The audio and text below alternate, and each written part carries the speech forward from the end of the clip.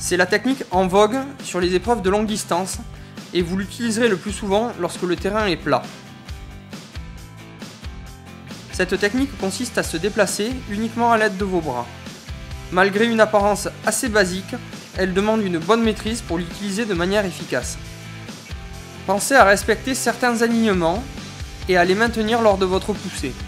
Les mains, coudes et épaules, et chevilles, genoux et hanches doivent rester au maximum dans un même plan pour que la transmission des forces soit optimale.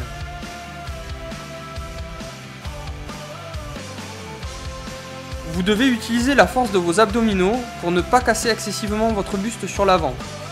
Verrouillez bien vos angles lorsque vos bâtons entrent en contact avec le sol et conservez-les pendant toute votre poussée. Relâchez bien vos épaules lors du retour de vos bras et utilisez leur inertie pour remonter votre bassin au-dessus de vos appuis.